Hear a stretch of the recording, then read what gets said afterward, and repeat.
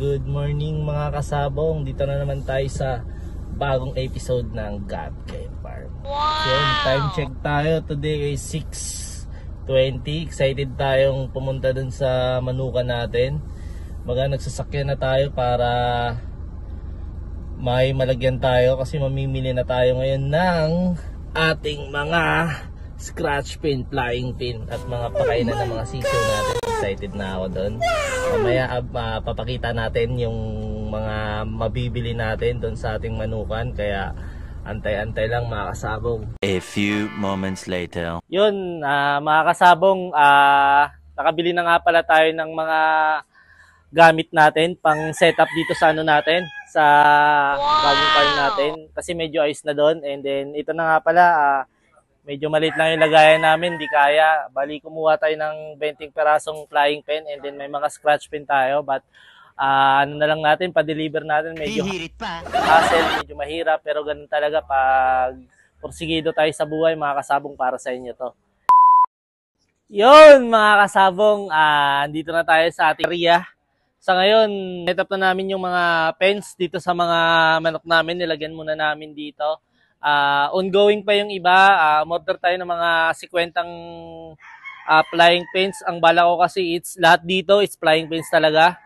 And then dito sa kabila is ah talagang ah, scratch pin. Yun talaga yung bala ko dito.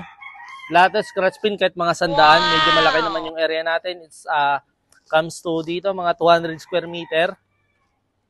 Tong area natin and then doon sa kabila, ah gagawa natin to ng ano ng net brooding area natin. Lahat papakawalan ko yung sisiw doon. And then it comes to cording nut. Ah 4 months pag kinording na natin dito, ah scratch pin yung setup natin dito lahat to mga sandaan sigurong scratch pin dito Ah, ongoing na rin na ano na rin natin to na order na namin sa shipping lahat dito Then yung mga pens namin lahat kompleto naman na tayo konti-konti na lang ah konting tiyaga na lang to Galing mo talaga, bright ka. ah sipag lang para talaga lahat maging kompleto tayo dito. At para to sa inyo mga kasabong, lahat gagawin namin, lahat healthy. Bago namin i-out dito, ah 101% talagang ah healthy lahat para sa inyo yun. And then, ah ang setup ko pala dito mga kasabong, ito nga pala yun. Ah dito, pag naka-scratch pin, ah one week, one week, change natin dito sa mga ano natin, flying pins. Lahat yun, pali, palitan. Every week, every week yun, change natin, change. And then, ah abang-abangan nyo kung paano namin ang, paano namin i-out yung mga ah pul, ah, pullets natin and then yung mga broodstag natin para sa inyo yun. Mga sabong abang-abang lang.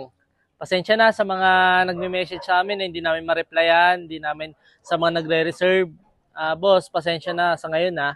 Kasi talagang bigay namin sa inyo 101% talaga namin na ibibigay yon na healthy, quality, kalidad, lahat ng materialis natin. Sana na yung ibibigay namin, yung isipin nyo, ibibigay namin na is reject, hindi po totoo yun. Lahat, kalidad. Much better na dumat, pumunta kayo dito, kayo na mismo pumili. Mas gusto namin yon And then lahat makikita nyo, bitaw, ah palo, lahat ng klase ng materialis na mayroon kami na gagamitin nyo sa mga aspiring dyan yun lang masasabi ko, stay tuned lang tayo kung paano namin ilalabas yung mga meron kami para din sa inyo yon. Abang-abang lang tayo. Update lang kami sa page. Thank you boss. Maraming salamat.